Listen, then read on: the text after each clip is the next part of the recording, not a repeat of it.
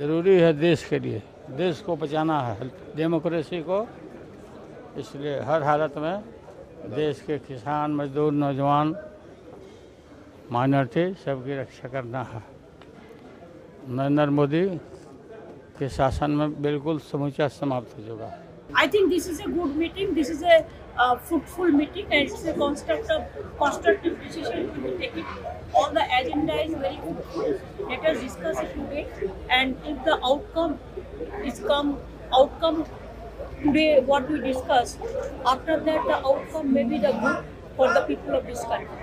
Meeting ज़रूरी इसलिए है अ, देश को बचाना लोगों को बचाना पॉलिटिकल लीडर के साथ जिस तरह व्यवहार हो रहा है और मैं ये कहता हूँ कि देश की दो तिहाई जनता भारतीय जनता पार्टी के खिलाफ है। टू थर्ड जनता खिलाफ है। तो इस बार भारतीय जनता पार्टी का सफाया होने के लिए सब एक है। This meeting is a continuation of the process that was started in Patna few weeks ago I think it's important that we put up a united stand against everything that is going wrong in this country particularly the way in which the constitution is uh, being eroded, the way in which the secular fabric of this country uh, is being undermined, and uh, all sensible uh, parties need to come together and unite in, in opposition to this. I think it is important because uh, Mr. Narendra Modi got a chance to rule the country for the last 10 years and he has made a complete mess of almost every sector in the country. Uh, he has created so much of hatred amongst the people. The economy is in shambles, there is so much of inflation, there is so much of unemployment in all sectors. So now I think it's a time that people of this country want to get rid of him. So everyone needs to come together and हम सब लोग एक साथ इसलिए आए हैं क्योंकि देश के लोकतंत्र देश के संविधान देश की जो भाईचारा है जो डाइवर्सिटी है इस देश की। उसको बचाने के लिए हम लोग सब लोग एकजुट हुए और जिस तरह से संवैधानिक संस्थाओं पर दुरुपयोग कराया जा रहा है, जिस हिसाब से देश की संपत्तियों को बेचा जा रहा है, चाहे किसान हो, चाहे युवा हो, चाहे महँगाई हो, इन सारे जो असल मुद्दे हैं, इन पर बात ना करके, जो जहर की बातें जो हैं, जो नागपुर से चलती हैं, उसकी बात की जा रही है। इसलिए हम सब लोग मजबूती के साथ साथ हैं देश को एक मज़बूत विकल्प चाहिए।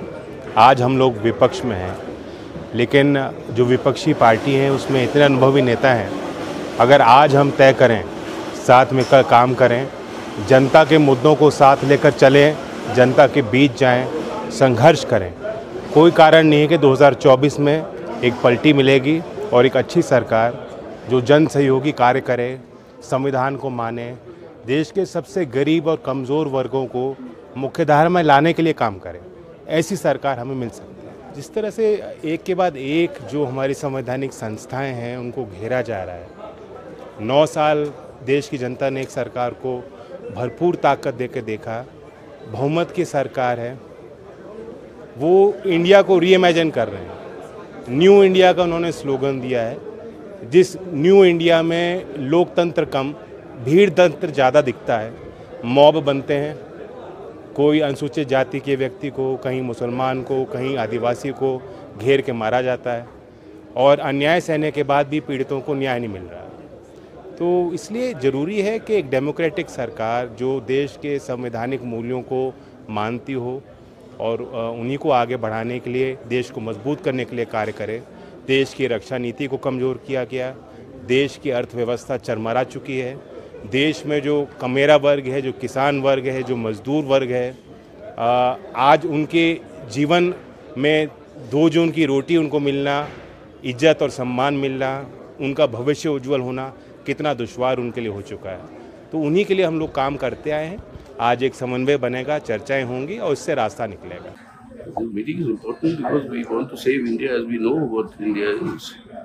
And I think India is under tremendous assault today, multidimensional.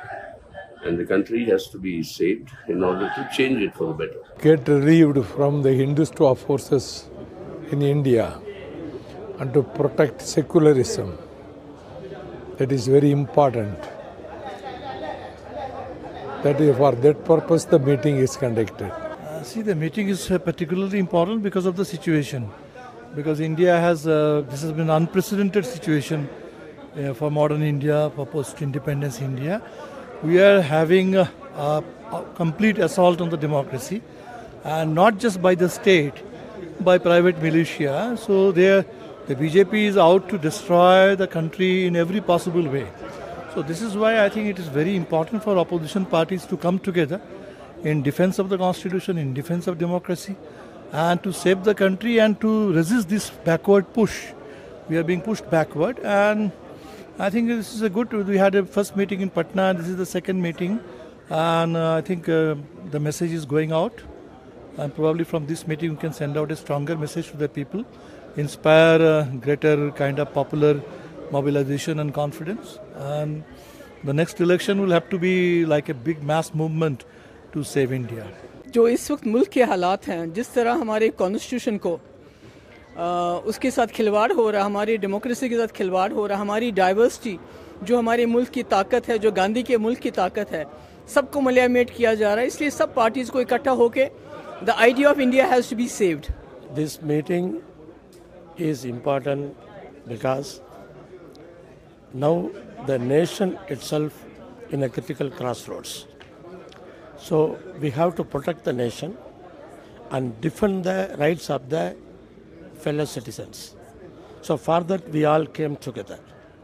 So definitely in 2024 parliament elections, our alliance should rule the country and bring back the old era and the rights of the people back again. In those days, people of India said Britishers divide and rule. But now people of India say BJP is dividing and ruining the country. Therefore, to save country from ruination done by the BJP government, this committee has been convened. हर चीज़ की दो पहलू होते हैं negative and positive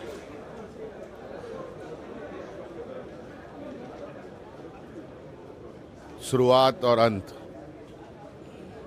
power में भी negative positive होती है और आज जो देश की हालात है और उस परिप्रेक्ष्य में भी दो समूह, एक सत्ता पक्ष एक विपक्ष रहता है। और वर्तमान सरकार के द्वारा जो देश में हालात बनाई गई है उसी को लेकर आज ये एक बैठक है उस पर डिस्कशन है This is a meeting for country's stability. The unity, uniting, we have already named this as an united we stand. We should have a unity in this entire country. The country is facing a lot of hurdles, roadblocks. So the entire country has to be united. There is a different voice.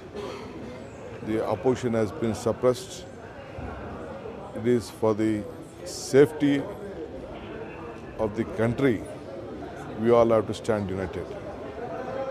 Today, under the leadership of uh, Mallikarjun Kharge Sonia ji, and Rahul ji, in Bangalore, in this uh, garden city, we have arranged this, uh, all the leaders of the oppositions have joined together.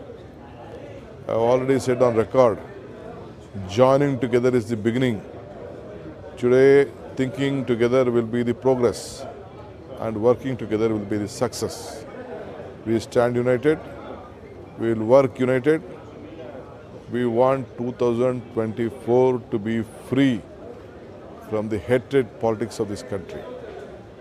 You know that the BJP, the NDA is misusing all its uh, machinery as a political tool. So we want to uh, face them. They are using all possible steps to weaken the opposition parties or the regional parties at the national level and the state level. So we want a growth, we want the UPA type of government with a more secular image to be restored back for the safety of this country.